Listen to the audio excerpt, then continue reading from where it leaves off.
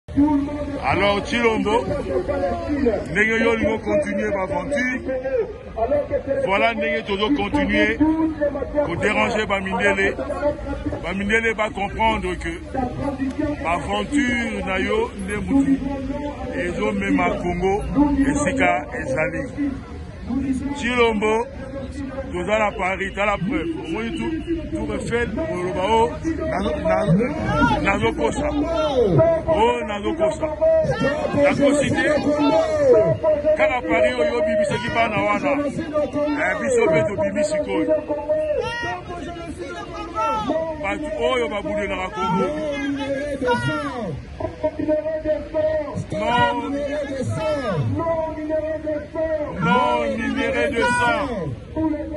omoni bato babimaka mpenda bango oyo mikolo nyonso chaque fois voilà toye kodenonse yo nde osinyaka bakontra na ba m23 c'est toi tino C'est toi le criminel. Mindele kaka te. mindele toyebi mpo na tobimaka mikolo nyonso na bamarshe na biso tobelelaka mindele tolobaka mindele baza bakriminele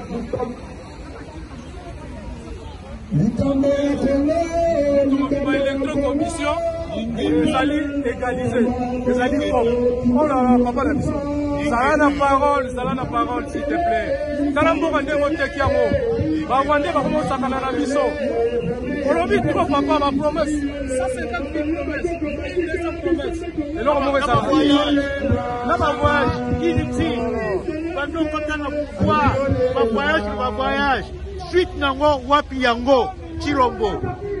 respecte parole na yo okotaki na pouvoir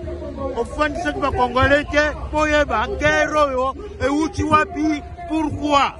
cilombo ozowela pouvoir pouvoir na yo yango oyo deuxième mandat deuxième mandat na yo na bato na yo ozo ko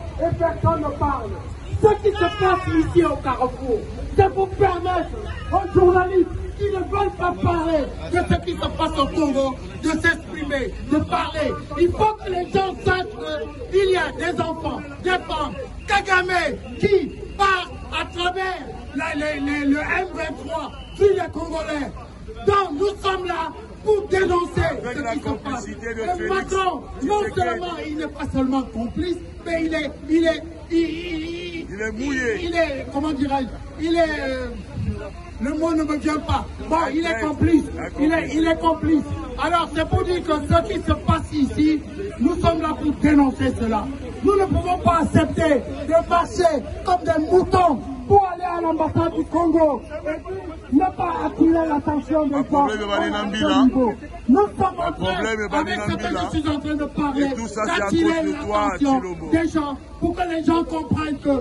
Congo, il se passe quelque chose. Il y a des millions de morts.